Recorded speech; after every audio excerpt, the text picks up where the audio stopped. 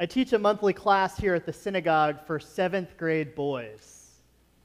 Primarily, you giggle, primarily utilizing Moving Traditions' Shevet curriculum.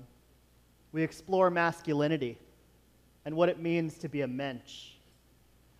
Together, we discuss Jewish values values of friendship and wisdom and strength and competition through the lens of pop culture and our ancient Jewish sources.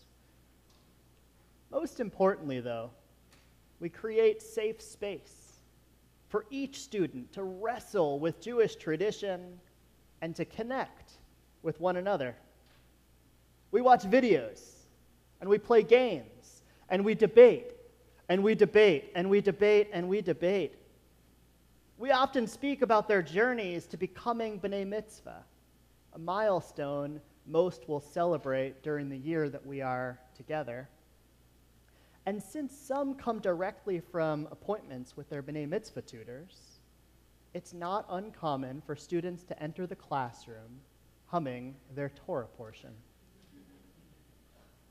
A funny thing happened last week when two boys, both so excited to show the other that they can chant their Torah portion from memory, realized that the first ver- verses of both of their portions was exactly the same.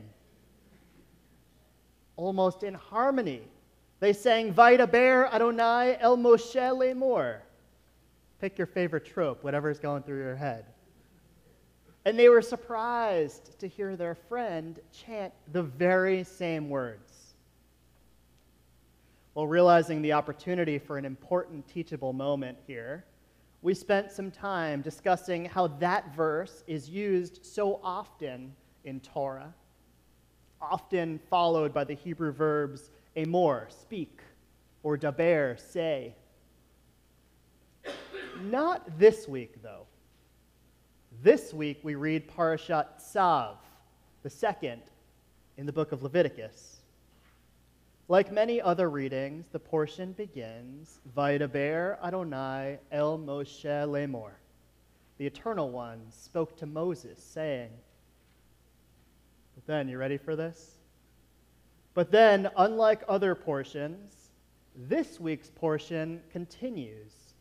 Tzav, command Aaron and his sons thus about the sacrificial rites. Unlike the more common speak or say found in other portions, here the word command is so much stronger. In fact, in his commentary on Leviticus 6, the medieval Torah commentator Rashi teaches the expression command, tzav, always implies urging, also implying that it comes into force at once and is binding on every generation afterwards.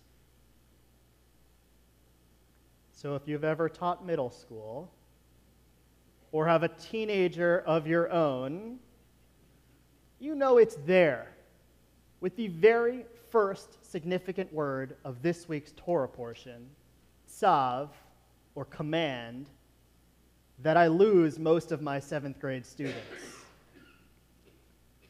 In truth, the concept of obligation is complicated for many progressive Jews, both adolescents and their adult parents and even grandparents.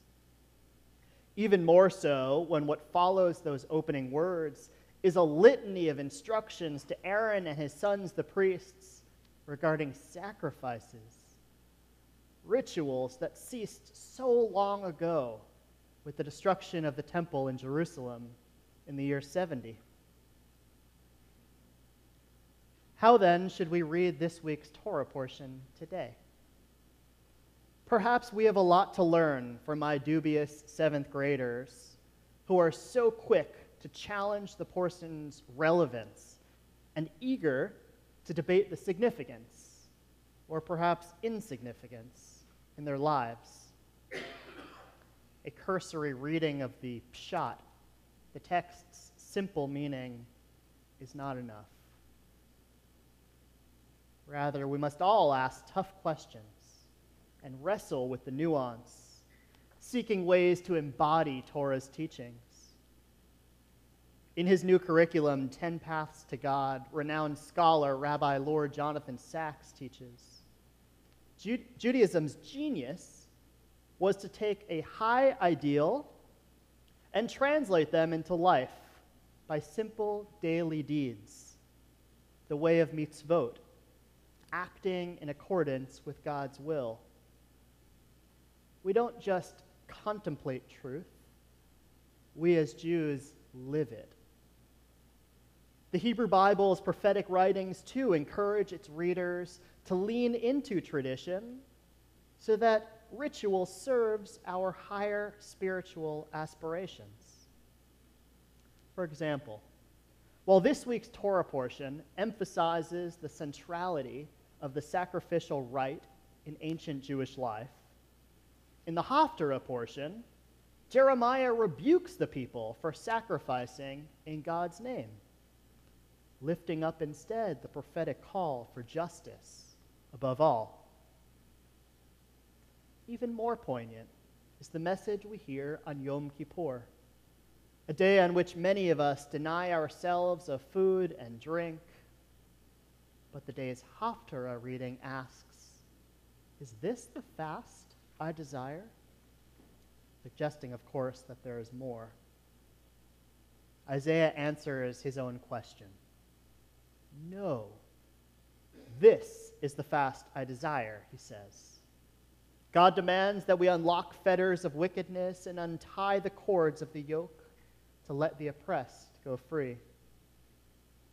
Our mission, says Isaiah, is not simply to starve ourselves, as one might glean from a basic understanding of tradition but to fulfill our greater obligation to honor all of God's creation. In doing so, seek repentance and return to the divine. On the surface, there appears to be some tension between what is written and deeper pursuits incumbent on all Jewish adults. What is certain is that we are left holding both preservers of a millennia old tradition with its many commandments, and the prophetic call to live purposeful lives of meaning and service to others and to the world. Perhaps the former leads to the latter. Rabbi Sacks continues in his teachings on the importance of moving beyond contemplating tradition to living as God demands of each of us. Sacks teaches we don't contemplate creation by studying theoretical physics. We live it by making a blessing over what we eat and drink, acknowledging God as the creator of all we enjoy. We don't think about our responsibility for the environment. We keep Shabbat, setting a limit one day in seven to the exploitation of the world we don't just study Jewish history. On the fasts and festivals, we reenact it. Truth becomes real when it becomes deed. That is how we transform the world. And that is precisely my hope for each of my seventh graders as they journey to B'nai Mitzvah, B'nai Mitzvah, obligated in observance and eligible to participate in specific Jewish ritual.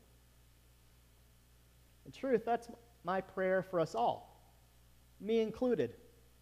May we all continue to wrestle with Jewish tradition, asking important questions and exploring opportunities to embody the mitzvot, holding both the most complicated, seemingly antiquated texts, like the rituals offered us in this week's Torah portion, as well as the more feasible traditions found elsewhere. In doing so, we indeed transform the world and climb even higher in our own journey for connection and for meaning. Ken Yehiratzon, may that be God's will